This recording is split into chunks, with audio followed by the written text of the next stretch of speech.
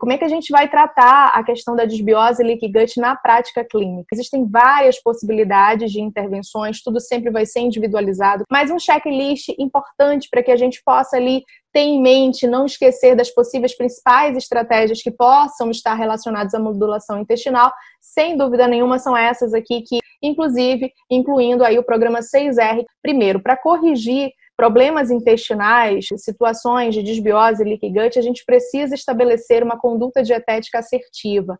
Então, a dieta é a principal ferramenta que mais modula, que mais altera e influencia esse quadro aí da saúde intestinal em todo o contexto. Então, é importante a gente estabelecer uma conduta dietética. Essa conduta dietética vai variar de acordo com o caso clínico e ela pode ser também o protocolo 6R ajustado de forma específica para a necessidade do teu paciente, inclusive considerando patologias presentes.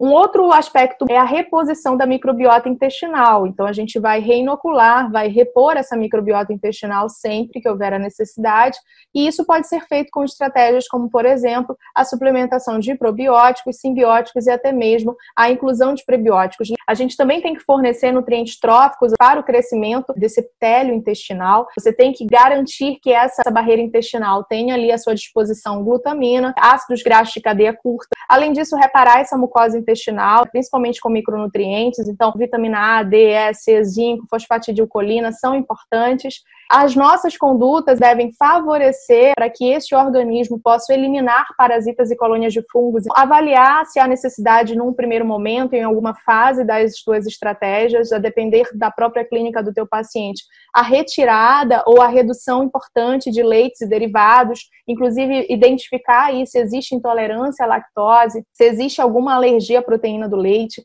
se existe intolerância ao glúten, se o teu paciente é celíaco ou se ele tem sensibilidade não celíaca. Avaliar a questão da sensibilidade a FODMAPs, isso é super importante, principalmente quando a gente fala de disfunções do trato gastrointestinal. Esses alimentos que são mais fermentativos, que para algumas pessoas eles vão gerar distensão abdominal, gases, dores e vão reduzir ainda mais a motilidade intestinal desses indivíduos, comprometendo ainda mais a qualidade de vida deles. Então, eventualmente, você vai pensar no protocolo Low FODMAP para depois personalizar essa dieta do teu paciente e lembrar sempre de fazer as instruções de hidratação. Não é somente isso, não. A gente sabe que existe um mundo de possibilidades, mas o que a gente tem até o momento já dá uma certa base de informações para que a gente possa tentar personalizar o máximo possível as nossas intervenções mediante a clínica do nosso paciente.